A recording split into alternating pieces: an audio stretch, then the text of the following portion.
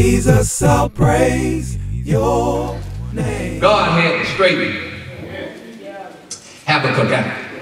Let me tell you this now. The purpose and thrust, the theme of this book is faith. It's, it's faith. This book, this prophecy is meant to challenge your faith. Because at the end of the day, the bottom line is do you have faith or not? That's right.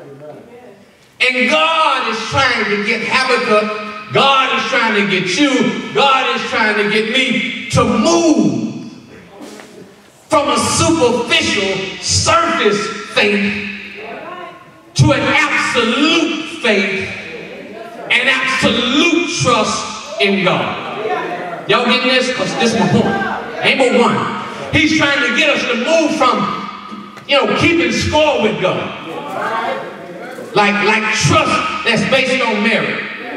God, I'm gonna give you a report. I'm saying, good you've been to me. Food on my table. Yep, yep. Ate about groceries this week. And, um, yep, you did answer that prayer for me. But God, you scored low here, and you scored low here. And did help me out with that other situation, so I'm gonna give you half.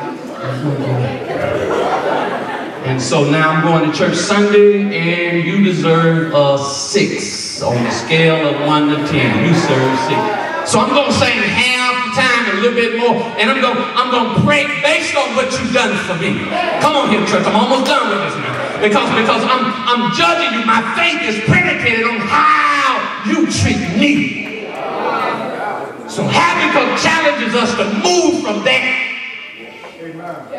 Sizing God up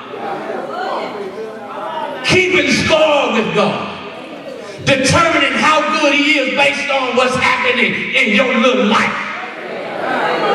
As though your little life matters the most. I'm the only one going through this. God, you better straighten up up there, or I'm going to report you.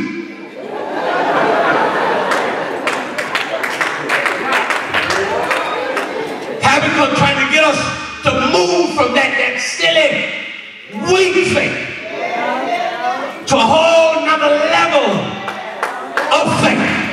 And listen, here's what you got to know that God has everything at his disposal. Matthew chapter number 7 if you know how to give good gifts to young children, surely God know how to give good gifts to his children. And you ain't even close to God. So God.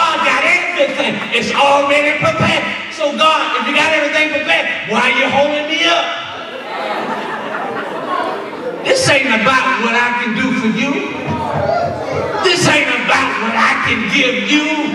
This is about how well do you trust me when I don't do it.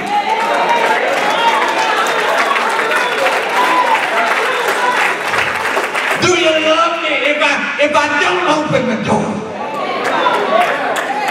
Do you love me if I don't bless you with that situation? Do you do you love me if I don't deal with your enemy right now? Where your heart at?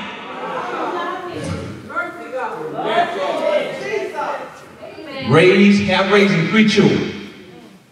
The last thing I want my children to do is fall out with me because of something I didn't.